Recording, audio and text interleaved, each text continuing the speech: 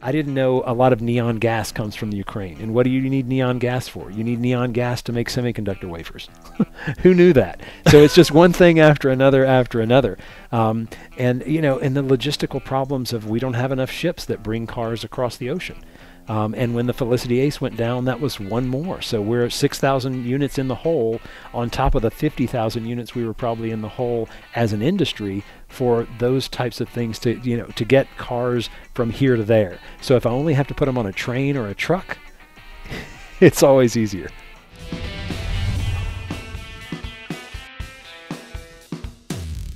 You're taking a factory that's made SUVs, and I think you made C classes. Made C as well? classes at one point. What else did you make there? Uh, it's really always been SUVs, R class, back in the day, M class, Yeah, um, and then uh, C class. and then C class. Yeah. But all ICE or hybrid. Mm-hmm. Now you're making a massive shift. EQS SUVs are going to come out of there. Yeah. Yeah. We're building them now. What goes into shifting an ICE factory to an EV factory? Well, it's a, it's an investment for sure, and because obviously you think about how much is changing in the car, Mm-hmm. uh, it's a massive change for the car. Uh, but what it does is, in the way we're trying to do it, is we're trying to build the when when you because in essence you're rebuilding part of the factory, and so you're having to rebuild it with the flexibility in mind to be able to do both, and which is in a way it's a little bit harder than doing one or the other, uh, because you want to build something where you could have uh, a GLE 450 going down the line, and right in front of it you could have an EQE SUV. Mm. So obviously, with that flexibility, there's a cost to it, uh, but at the same time, there's a benefit. There's a huge benefit, and especially in this transitioning time where we're transitioning to electric, and that is a factory we have to keep in mind. That's a factory where we build those cars for the world, not just for USA. And so EQE SUV, EQS SUV, uh, and for that matter, their ICE counterparts, uh, GLE, GLS, that is the sole source uh, for those cars. And when you say benefit, would one of the biggest benefits be you can flex the amount of production? Like, for example, if volume exceeds expectations on EQ SUV, you can bring it up Exactly. and bring ICE down, or vice versa. Is yeah, that no, that's exactly the idea. You're you're building with flexibility because you know that the transition to ICE and EV is happening uh, over time, and it's happening very differently in different markets. Uh, when I look at North America, gosh, and and if you say USA and or Canada, uh, they're one country, but it's almost like m- several countries in the same country. If I look at the U.S., uh, the West Coast is its own thing. Uh, So when you say its own thing, regional tastes. yeah, regional tastes exactly. E- the EV thing has been happening in California for years, um, and if you then as you go east, you don't see it as much. You start to see it pick up again, maybe on the coasts, but Mm. nothing like uh, nothing like California. You could. I was ten years ago in California when we were working on the B class, and, and it was already there. Electric had happened, and but in minuscule numbers. in in, like in smaller numbers, but you saw it, and compared to what we saw on the East Coast, Mm. you just didn't see it. Much in the same way, Canada, you have that in in BC. So Vancouver is uh, EV is is really happening there. Okay, so let's pick up on that. You now have some learning Mm-hmm. because you've brought out your first, I would say, real EV Mm-hmm. for the market, at least for the U.S. market. That's the EQS. Right. But let's put aside the car itself. But you're the product planner. You've been the product planner for a long time. Has that car met expectations, uh, exceeded expectations, it's below expectations in terms of a sales perspective? Um, well, eh, right now it's exceeded expectations because we don't have enough of them. So Is that a, very virus thing, or people are we gotta have a luxury EV? Yeah, it's it's hard to say right now because you don't have enough, and so n- even if we wanted more, we couldn't get them. That's everything. But yeah, but what we see, and, and honestly, the best gauge of that, because the sales gauge right now is a little bit off the charts because you just no one has enough cars. So We're in the it's it's world. easy to look successful. I think I think that's what you have to watch out for is you can think you're really smart and and maybe let's just see. It, we're we're still a year or two away. To me, the better gauge has been the response uh, from the people who drive it and and quite honestly, uh, the journalists who drive the car. and uh, because I, I always feel like we get a pretty good, you know, very informed group of journalists in North America, be it Canada or the U.S. Mm. They know what they're looking at. You're not going to fool you guys into thinking, "Hey, this is a great car." No, you know if it is or not, Mm-hmm. uh, because you drive the competitors and you know what you're talking about. So that's a, a better gauge. And then I just look at the numbers on the car in terms of uh, what we wanted from a range perspective compared to what it does real world. I'm Mhm. thrilled with. Mm-hmm. Uh, you know, certification values are one thing, and you, you have to have a certain hurdle because there's a sort of in the U.S. it's 300 miles, it's 400 kilometers here, um, and we we meet those on the certification values and we exceed them in real world. And and to me, those are values. Those are things that I can really talk to because I, I try to think about as successful one customer at a time. Mhm. And if I can have a great conversation with a customer and they're thrilled, Mm. and you have a few more of those, it's a trend. And uh, so it's it's kind of nice to see. And Mm. to sum it up, we're we're thrilled with the EQS. Okay, so let's bring this back to the factory. The Mhm. EQS, that's Sindelfingen, Mm-hmm. but the EQS SUV, that's going to be here. What are three of the biggest investments, obviously from a cost perspective, in making this switch? You know, in the in the factory itself, just the hardware. Yeah, uh, you know, factory, not things the have car to change. Yeah, yeah. Hey, within the factory, uh, just just the hardware within the factory. You, you know, you have to get uh, the line's going to be a little bit different. It's an investment in just what what's that production look like. You have to prepare. Uh, you know, handling a battery. Th- That's a different ball game, and whether it's and and where you're going to source it. Uh, so it's it's all the logistical things. Just to imagine that a huge portion of the car is incredibly different than everything else you've built before. And do does a does a, does a GLS 450 and an EQS SUV go down the same line? they they they will be able to do that and that's the investment in the factory to build that flexibility because you need to and and again it comes to sequencing and and uh, how the parts are coming in it's all just in time but you need to have that kind of flexibility to say okay based on customer desires I need to be able to build a certain percentage of electric and a certain percentage of uh, ICE and that's for for the time being no one has the crystal ball. And and quite frankly it's it's it's the requirement because we're building for the world there. And when you build for the world there, there's going to be certain markets that maybe two three years from now they're 100% electric and they're sourcing from us. There's other markets it might be 10 years from now uh, before they're even there. And so we've got to be able to build both in that factory and and make it work under one roof. And when these cars go down the same line, that GLS and then the EQS SUV, it, when you say sequencing, it, when the battery goes into the vehicle, are they literally on the same line still, or is it does it go on an offshoot? Because that, that would seem Yeah. like a lot of extra time that a car is sitting there doing nothing. The ICE car. Yeah. That well, in the I know the uh, in concept Yeah. they would be right back to back, and Yeah. you'd marry them in a in a very similar fashion. Yeah, that's in concept. Yeah. So we're still kind of working this. Plan. Yeah, and that's that's that's where we'll be. And uh, so ultimately, when the factory is up and running at full speed, we will have the ability to build both going down the line at the same time, and really everything in between, because you need to be able to build uh, plug-in hybrids, you need to be able to build electric, and, and then there's. ICE. So if I'm reading the tea leaves correctly, the manufacturing side of the business becomes far more complicated than it used to be. yeah, it's it's incredibly complicated because we're tr- we're doing both. Um, so it's the it's the best of times on the sales side. It's it's in a, in a essence of the worst of times on the other side, Does just that- because it's more complicated. Does that mean you've had to staff up differently on the manufacturing side? I don't mean the line person, but Yeah. the people that engineer the manufacturing, the people that actually design the process. Yeah, for sure. There's different uh, e- levels of expertise you need. Yeah. Uh, because it's very different, and uh, just whereas uh, you know the the most variation you might have had is a four cylinder, a six cylinder, an eight cylinder. Those are in essence internal combustion engines. This is something dramatically different. So.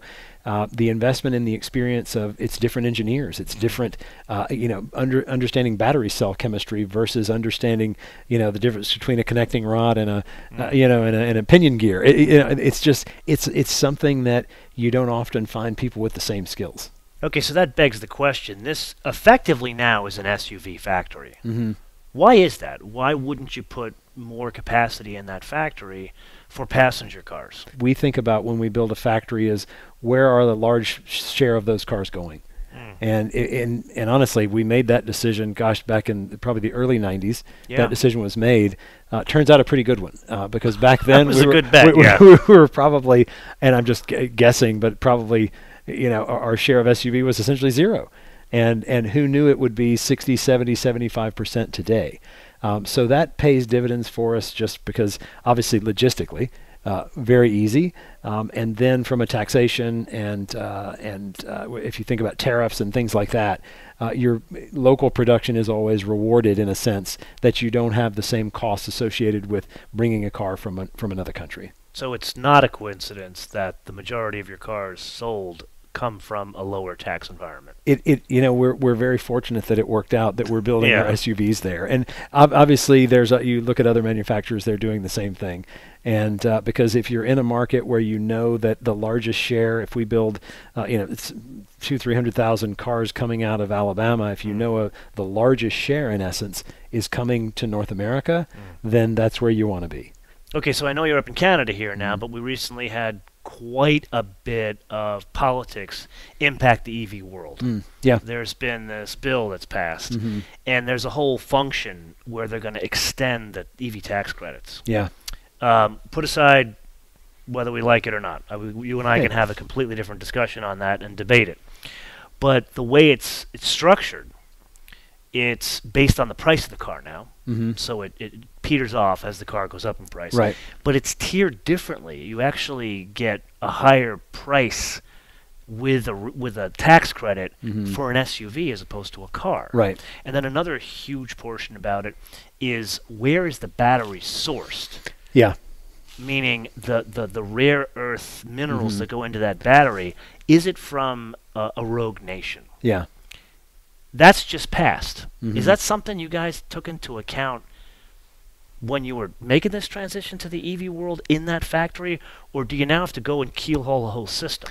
No, I think there's certain things we knew were possible. You know, that's been talked about for a number of years. Um, you know, that, that at one point they said it needed to be union labor, and it could be this, it could be that. So, so there were probably, you know, there's 10 or 15 different factors that you know could come in onto the table. Um, locally sourced production is is one that we we knew was on the table, and we knew we could check the boxes for EQE SUV and EQS SUV. Um, and you know, local content um, is something that's been a factor in you know that that's a label right on the car in the U.S. is the percent of local content. So in essence, um, requiring the battery and the and the elements that go in there is is in some way an extension of that. Um, and so it wasn't off the table by any means. I, I think you always know that. But you're not there yet. not there yet. That's kind of like Yeah. the next frontier. Yeah, yeah, that's the next frontier, and I think because we prioritized get the car in the factory. Mm-hmm.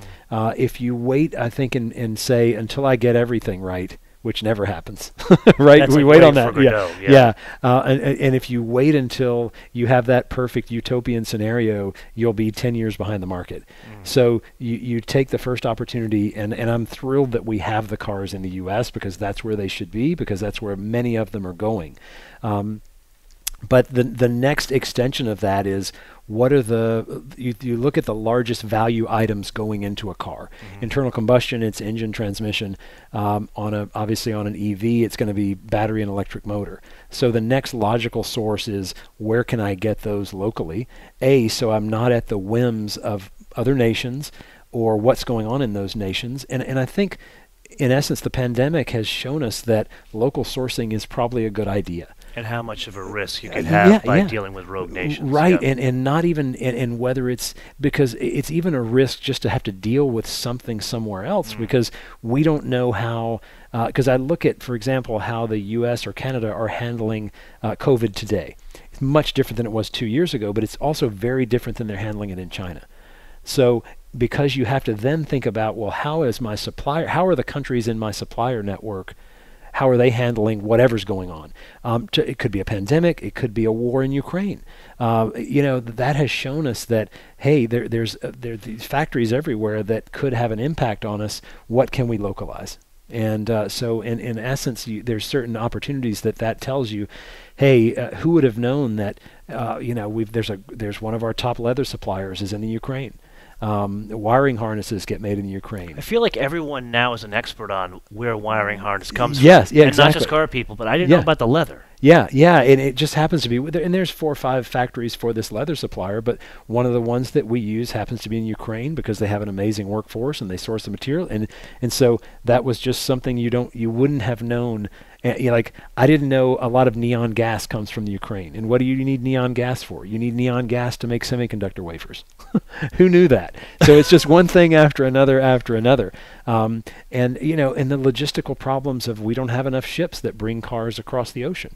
Um, and when the Felicity Ace went down, that was one more. So we're 6,000 units in the hole on top of the 50,000 units we were probably in the hole as an industry for those types of things to, you know, to get cars from here to there. So if I only have to put them on a train or a truck, it's always easier.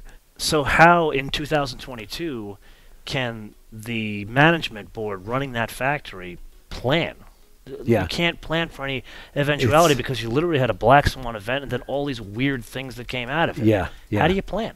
you know you do the best you can with it and you you invest in as much uh, let's say backup c- capacity or alternatives as you can and but but you can't always get it right and so you just you, you do the best you can I uh, my mentor in life, six foot five tall guy from the boogie down Bronx, kind Yeah. of talk like this. Yeah. Used everybody used to call him Mr. Terrible because he'd walk into a restaurant and the the hostess would say, "How you doing today?" And he'd say, "Terrible." and it was a whole bit to see if people were paying attention. yeah Anyway, his whole saying was, uh, "Work your plan, and plan or plan your work and work your plan." yeah And I added something to it, which I think is relevant in 2022, but I added Mhm. it back in 2000. Plan your work, work your plan, but be willing to come up with a new plan when life doesn't go according to Yeah, plan. that's so that's exactly it. Mercedes-Benz today. Yeah, yeah, that's it. You're you're doing you're you're making the best of the opportunity you have, and uh, I- you know it's funny. We all have these things we came out of the pandemic with. Mine was be thankful for the problems you have. I'm going to steal that material from you. You can have that one. Okay, so this is the point of the episode where we're going to turn this around to the audience. Mhm. And I think we need to get feedback what they feel on those three key points in that bill. So, uh, should there be federal tax credits Mhm. for up to, I think, $80,000 for an SUV? Mhm. Mhm. Number two, uh, the general thought process on limiting that credit Yeah. based on where the materials and the battery come from. Mhm. And then there's the third one you brought up, which is is it locally grown? Mhm. Is it organic to the U.S.? Yeah. Yes or no? Why or why not? What do you like about it? What you don't like about it? Let us know in the comments below, Yeah. or via our social media, Motoman TV all word, Motoman TV all word, Facebook, Twitter, Instagram. This way, uh, Bart and his folks at Mercedes could do some more planning because Yeah. apparently that's the hard part. We appreciate the feedback. And uh, a little bit behind the scenes here. So Mm-hmm. uh, we have set this up in the garage here. The original plan was to do this out in the driveway there because we've got this beautiful, Yeah. huge yard. There it is. We were going to have five Mercedes. We're going to have this 560, so our 107. We got that 2.316. We got a CLS uh, 53. Fifty-three. And we've got a GT53. It was going to be a cornucopia of Mercedes for you, Bart, because I never could see anymore. Hey.